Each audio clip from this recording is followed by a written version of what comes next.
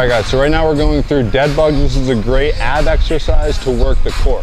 So for a setup for this, we're gonna lie right on our back with our feet up. So we want our lower back touching the floor. That's pretty standard for any ab exercise. You're gonna want your lower back right here against the ground. So for this, we're gonna want our hands up, feet up as well.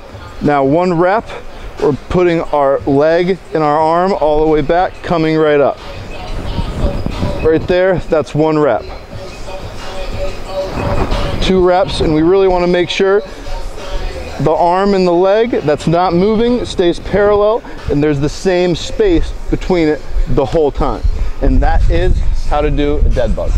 All right guys, so if you liked that video and you found that useful, please like, share, and subscribe. If you have any questions on it, please leave those in the comments below. All these demo videos are all part of our online personal training workout programs. So if you're interested in that or just want to book a free consultation, click the link below.